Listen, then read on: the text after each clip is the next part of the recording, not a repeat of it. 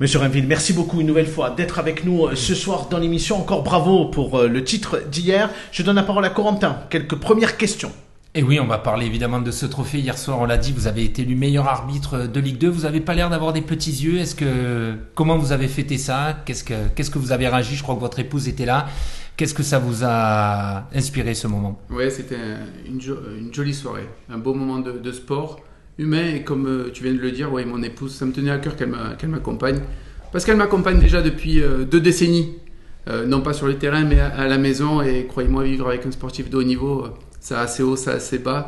On est assez caractériel à la maison, donc il faut pouvoir suivre aussi cette, cette carrière-là. Et un grand merci à elle.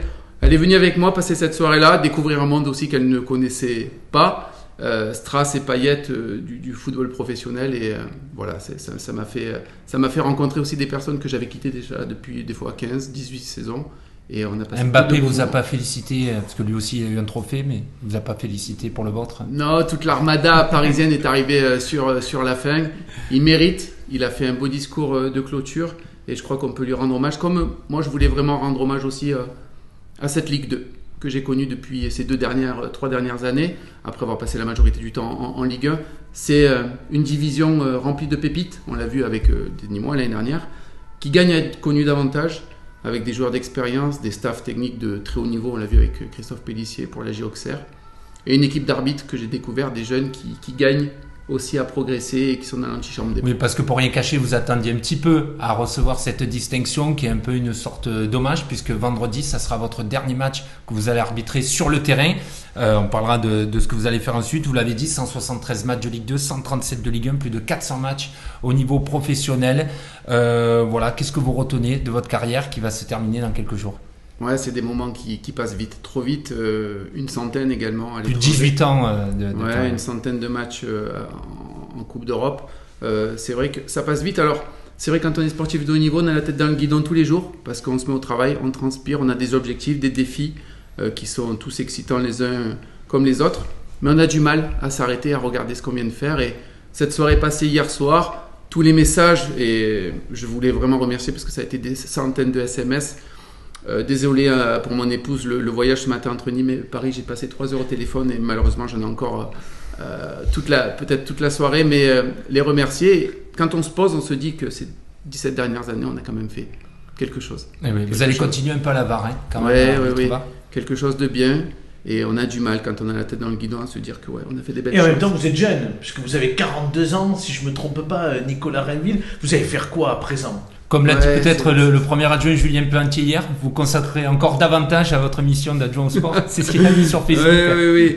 Euh, j'ai une belle, une belle proposition de reconversion parce que je, l'avais dit il y a deux ans, j'arrêterai en 2024. Et la fédération m'a proposé une reconversion en tant qu'arbitre vidéo. Alors je crois que le président Diallo hier a fait une petite allusion à, l'arbitrage, à l'assistance vidéo dans le football. Voilà, une petite reconversion dans la, dans la vidéo également renvoyer l'ascenseur à ceux qui m'ont aidé, c'est-à-dire accompagner les jeunes sur les terrains quand ils arrivent, des néo-professionnels, euh, faire un système de mentor avec eux, les accompagner sur la médiatisation, sur la gestion des conflits. Et je trouve que voilà, on, va essayer de transmettre le flambeau. On est en année olympique, on va transmettre un petit peu aussi la flamme aux jeunes qui arrivent. Frédéric Pastor, votre collègue, effectivement meilleur arbitre de Ligue 2. Qu'est-ce que vous avez envie de dire à Nicolas Renville ce soir Le féliciter. Moi, je, je, hormis les chevaux et les taureaux, je, c'était sa despédide. Voilà, c'était sa despédide. non, félicitations. Et puis, je crois que celui qu'on peut féliciter, c'est surtout Jean-Paul Fournier. Puisque j'ai cru euh, lire il y a une quinzaine de jours dans vos colonnes que euh, Nicolas était un bon arbitre. Donc, il avait déjà vu euh, les choses, les qualités de, Nicolas en tant qu'arbitre. Il aurait voté pour Nicolas Réville, forcément s'il faisait partie euh, de la Ligue de football. En tant que, on va parler plus de l'adjoint au sport. Exactement. maintenant, le Nîmes Olympique s'est maintenu euh, en national. J'imagine que pour vous, bah, c'est une joie et une crainte qui s'enlève parce que le club aurait pu descendre à N2. Ouais, c'est une joie, c'est un soulagement et d'ailleurs les joueurs le méritent. Et euh, Adil que vous avez reçu. Adil Hermach était là, effectivement, hier soir. Ouais, moi je, tiens à le féliciter parce que je l'ai accompagné sur ses premiers entraînements à la Bastille. Je voulais être présent à ses côtés, lui envoyer tous les encouragements de la ville parce qu'on est avant tout les premiers supporters de ce club-là. Ça fait du bien, mais pas que pour les Nîmois, parce que hier, beaucoup de personnes, certes des anciens joueurs de, Nîmes Olympique, Mais euh, encore hier soir, beaucoup me demandaient des nouvelles de Nîmes. C'est dire que c'est quand même un, un club connu en France qui a son histoire. Et les gens, voilà, sont, sont quand même bienveillants à l'égard de ce club-là qui, qui doit retrouver une dynamique. Et est-ce qu'on vous demande des nouvelles de Rani Assaf Parce que c'est la question aussi, on parle souvent des, des repreneurs. Est-ce que vous, vous en avez? On sait que c'est compliqué, non, non. le dialogue est rompu définitivement. Et il y a des questions effectivement des téléspectateurs qui nous Évidemment. suivent. Bien évidemment. Mais ils, ils Monsieur sont, Renville, on en est où avec ils, Rani ils Assaf sont, ils sont adorables tous ces téléspectateurs, mais moi je suis venu vraiment pour profiter de ce trophée-là. Ne me gâchez pas ma soirée, pas ce moment-là. Ne me parlez pas de Rani Assaf aujourd'hui. Euh, on va avoir tout le temps de, de, de venir sur ce dossier-là. Euh, je pense que c'est aussi la balle dans son camp, puisque voilà, le, championnat va se clôturer. Nîmes est maintenu, maintenant c'est à lui. Qu'est-ce qu'on peut dire de la saison sportive des Nîmois, des clubs amateurs bien évidemment, et du spectre euh, du sport euh, nîmois aujourd'hui en tant qu'adjoint? Il est, il est plus que positif quand on voit euh, tous les représentants nîmois qui vont nous représenter justement sur les Jeux Olympiques. On a, je le rappelle, les frères Lebrun au tennis de table. On a Bon, nos- ils sont plus Montpellierin quand même. ils sont à l'Alliance Nîmes-Montpellier. Oui. Euh, on a nos archers de Nîmes. On a encore euh, Pombiane sur l'athlétisme, Ouida Tatou, on attend ses derniers résultats. On a des handisports également qui vont se qualifier. On a grand espoir pour le- nos, handis pour les Paralympiques. Et tous nos clubs, euh, avec tous nos bénévoles, on leur tire un grand coup de chapeau parce que c'est eux, in fine, qui font vivre le milieu associatif. Ce ne sont pas les professionnels qui tirent certes peut-être vers le haut, mais c'est la base qui compte et euh, on est heureux parce qu'on est quand même une ville attractive. On va avoir encore des événements, euh, des semaines olympiques, euh, l'arrivée du Tour de France. Euh, je crois que la course Camarguez, Fred, fait partie des sports et, euh, et- Ah et je le revendique. Donc voilà, il fait bon vivre à Nîmes pour le sport. Vos principaux, vos priorités, j'ai envie de dire, pour les deux dernières années euh, du mandat de Jean-Paul Fournier, vous voulez l'axer comment? On a une grande part euh, sur, euh, je voudrais vraiment insister sur la féminisation d'une manière générale dans le sport. Voilà, il faut, il faut qu'on travaille encore euh, vers là. Le statut du bénévole, très important aussi parce que c'est des gens qui prennent sur du temps de famille, des temps de loisirs, du temps de travail aussi.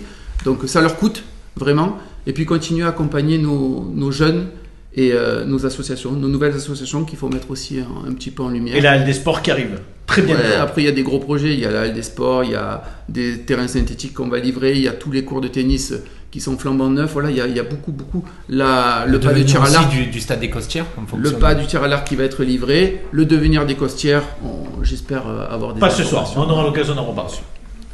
Brahim, vous vouliez interroger euh, Nicolas Renville. Oh, pas, pas l'interroger, mais le féliciter, puis, puis euh, euh, lui dire. J'ai eu l'occasion de discuter avec, avec lui juste avant de rentrer sur le plateau. Je ne le connais pas beaucoup, hein. moi je suis pas dans le milieu du football, mais euh, double félicitation. Maintenant, vous avez un devoir de transmission, parce que vous savez que l'arbitrage dans le football amateur, c'est assez compliqué. On est dans le département du Gard, où vous avez fait une émission il n'y a pas longtemps avec euh, des protagonistes de ce qui régissent la vie du football amateur dans le département du Gard. Et, là, vous êtes le porte- porte-parole, du coup.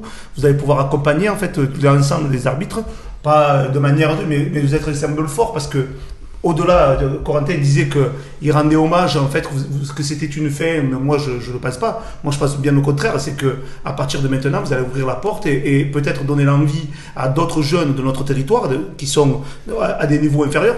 Tout à l'heure, vous nous disiez, vous Oui, parce qu'il m'expliquiez. est aussi présent au district c'est important et, de le et- souligner. et vous nous expliquez même que l'arbitrage au niveau euh, amateur c'est très difficile et que vous leur rendez hommage. Donc du coup, c'est un double hommage qu'on va rendre et à vous et à ces, à ces jeunes qui vont euh, vous contempler avec euh, ce, ce, ce symbole qui est très fort, ce trophée. Du coup, euh, j'étais ravi d'avoir fait la photo avec, avec vous aujourd'hui et puis je la remettrai dans les réseaux pour encore encourager les jeunes à s'engager dans l'arbitrage. Après, à 10 milliards, chaval.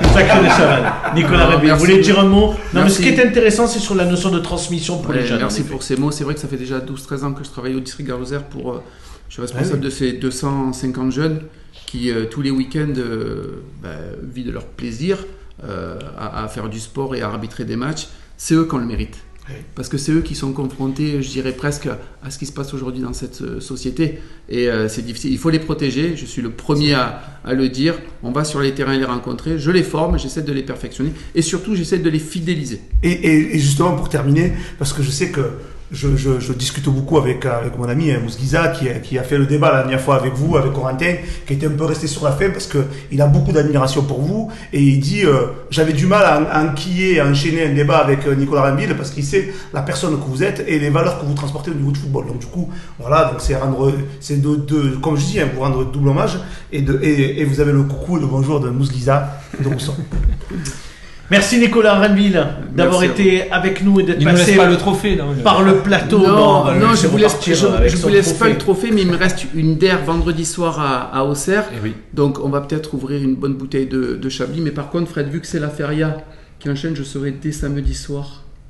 Ah oui, parce qu'il faudra venir voir Et- les grands triomphes dans les arènes. Déjà samedi, dimanche, 18h, lundi. 18h samedi, dans les arènes, oui. j'y serai.